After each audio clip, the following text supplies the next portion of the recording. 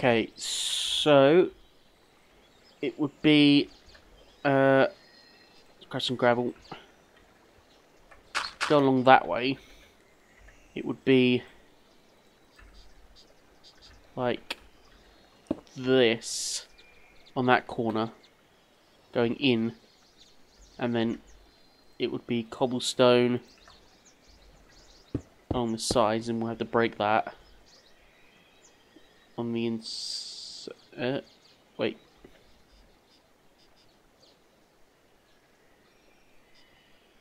No, that's not right. Be there. Cobblestone would be like this along that way. And then... Yeah, I think that's right. Okay, so let's continue this wall a bit more. Just got to fix this corner.